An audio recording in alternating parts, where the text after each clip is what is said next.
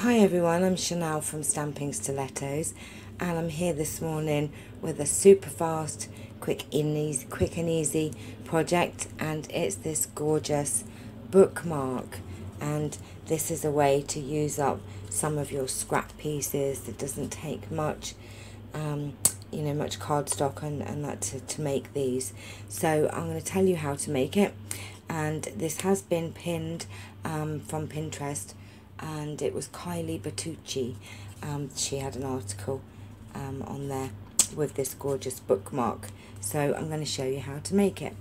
Now you will need, like I said, very, very small pieces of card. This is just a small piece of Blushing Bride and then a small piece of Bermuda Bay, a doily, and this is our craft card and this is cut at 2 by 6 so 2 by 6 inches.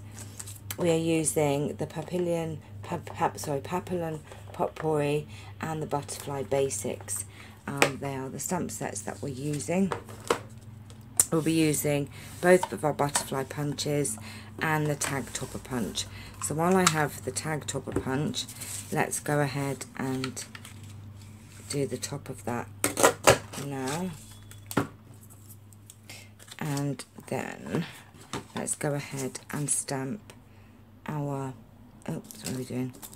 Our butterflies. I'm using, uh, sorry, Island Indigo for the small butterfly. And this is from the Papillon Potpourri. Can never say that. So that's that one. And then using our flirty flamingo. I'm going to be doing the bigger butterfly.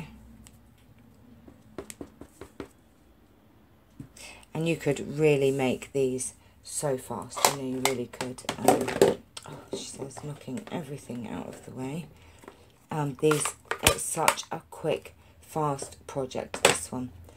So that's that. And then we need to bring in some scrap paper. And we're going to do our doily. If you can see that. Those were some measurements for something so just going to bring that in. And I'm using old olive and the large leaf. And we're going to do the stamp on and stamp off technique. Just like that it's, it really is that simple. And then last but not least taking your basic black and your tag we have the the stamp. There is nothing in the caterpillar that tells you it is going to be a butterfly. Love it. So this is our basic black. And we're just going to stamp that near to the bottom just like that. Just like that, same like Tommy Cooper then. Right, okay. And then what I did was I just got the doily and folded it over. Now, you know, you could have that much on it. You could have a bit less like that. In fact, shall we do it like that?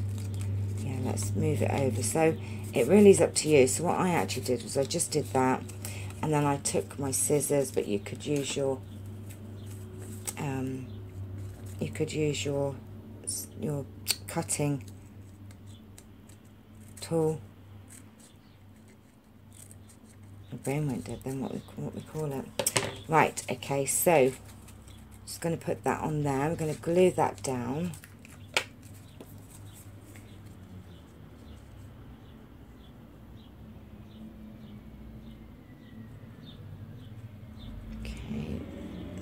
done. Okay, so we're just going to glue that down like that and move it into place on the edge and let that just dry for a minute. And then taking our punches, we're going to punch out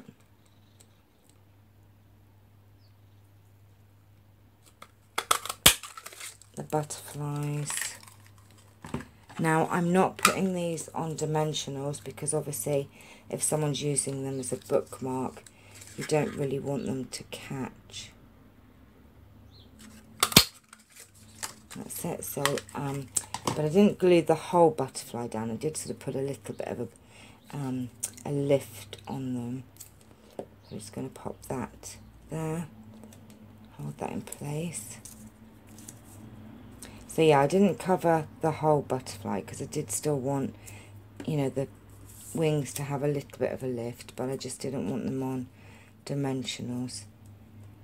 So that is basically, that's your bookmark, and all that's left then is to make, um, you know, a tassel. If you want to make a tassel, you could put ribbon on it. Now, what I did with this one, I've used our Bermuda Bay um, this is our thick baker's twine and I made a sort of a tassely um, tassely a tassely uh, a tassel to it a tassely a tassel to it. Um, and now I have a rubbish truck or something to pass. Now with the baker's twine I took uh, one, two, three, four, five, six, about seven inches, and then I folded it in half, cut it, and then cut it again. I'm so sorry if you can't hear me. Then you fold it in half again, and feeding it from the front to the back.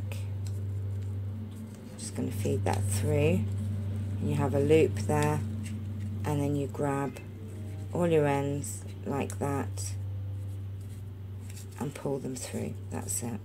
Now the bit that actually takes the longest on um, this project is actually um, splitting the because you know to make it more um, of a tassel I split the threads you please excuse the state of my nails, by the way. I do apologise. I'm having them done later, but I wanted to get a couple of videos done today, so I am so sorry. They do look shocking. Look, they're all, um, they've, it's all come off. Right, okay, so you want to go really right down to the bottom with doing that. So I'm not going to do the whole one now, but you get the idea and then it will end up looking like that. Now that one I've done a bit longer. I think it looks a bit better longer. Um, so there you have it.